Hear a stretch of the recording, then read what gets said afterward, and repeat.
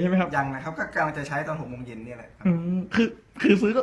ด้วยความเราใช้แล้วก็ซื้อยกกล่องเลยแล้วไม่ได้ถามเป็นชิ้นเลยถูกไหมไม่ได้ถามเลยครับงั้นตรงบอกชื่อร้านได้ใช่ไหมครับตอนนี้ อ๋อเดี๋ยวเดี๋ยวค่อยนอกนอกรอบก็ได้ครับ ก็เนี่ยคือเนี่ยครับอย่างผู้ใหญ่เนี่ยครับ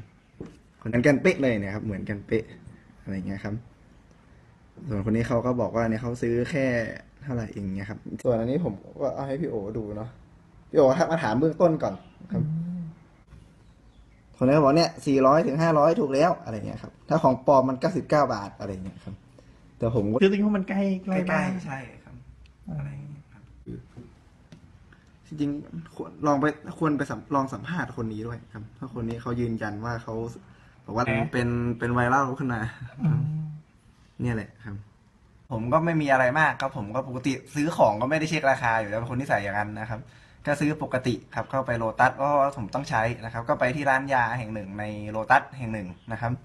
ทีเนี้ยผมก็ไม่คิดอะไรผมก็ชี้ถามไปนะว่ากี่บาทอะไรเงี้ยเขาก็ทำตามหน้าที่นะครับเขาก็บอกว่าอะ450 บาท ผมก็ไม่คิดอะไรนะตอนนั้นผมก็โอเคอะ450 อะไรเงี้ยจริงๆคิดเผื่อเลยซ้ำไปว่ามันอาจจะช่วงนี้อาจจะแพงจริงอะไรเงี้ย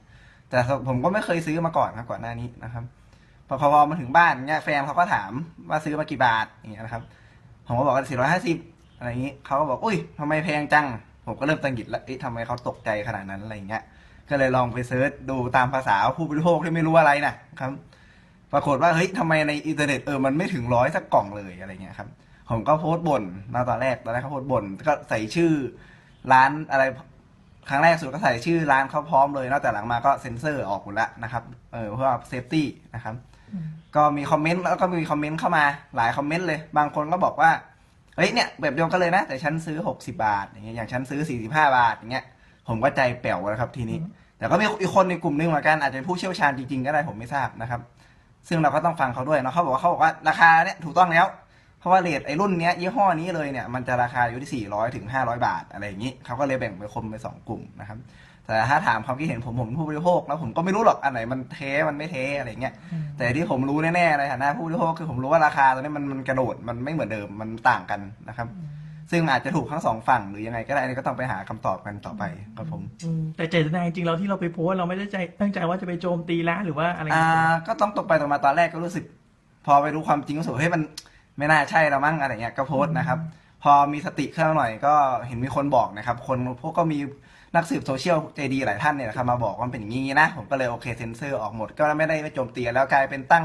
ผมเปลี่ยนแนวโพสต์เป็นว่าให้ตั้งคำถามมาว่าเฮ้ยมันเท่านี้จริงหรือเปล่าอะไรให้ช่วยกันหาคำตอบครับผอืมมเพราะว่าจริงๆอย่างช่วงสถานการณ์เวลาเนี้ยหน้ากากมันจำเป็นถูกไหมครับ จำเป็นครับ เพราะว่าเดี๋ยวผมก็ต้องไปวันนิมมานไปอย่างเงี้ยผมก็ต้องก็ธรรมดานะครับผมก็ต้อง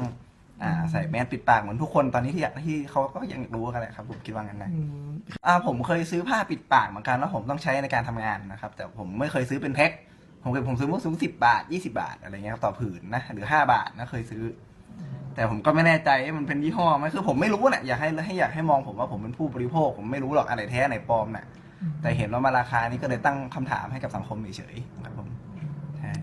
เจตนาตอนแรกจะซื้อคือซื้อมาใช้เพราะว่าเราจะไปซื้ธุอระ มาเลยครับเลย ซื้อมาเลยคือไม่ได้คิดว่าจะแพงถูก หรือจะไปเช็คร้านอื่นไม่เลยนะผมเดินเข้าร้านนั้น แล้วก็ซื้อเลย ไม่ได้คิดอะไรมากครับจนกระทั่งแฟนมาตั้งคำถาม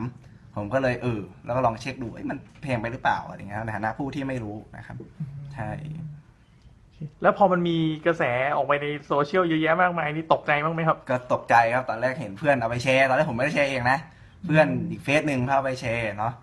อ่าคราวเนี้ยก็มีคนมาทั้งให้กำลังใจครับแล้วบอกเออเออฉันก็ซื้อมาไม่ถึงร้อยนะทำไมเธอซื้อแพงอะไรเงี้ยครับ แต่ก็มีคนผู้หวังดีเหมือนกันก็มาบอกว่าเฮ้ยลบโพสต์เถอะอะไรเงี้ยเพราะว่าราคาเนี่ยมันเขาอาจจะอยู่ในแวดวงนะผมมันถูกแล้วราคานี้อะไรเงี้ยครับซึ่งผมก็หาคำตอบไม่ได้จริงว่าสรุปเรื่องไหนคือเรื่องจริง ผมก็เลยตอนนี้ก็ลบลบอะไรนะลบโพสต์ไปแล้วนะครับ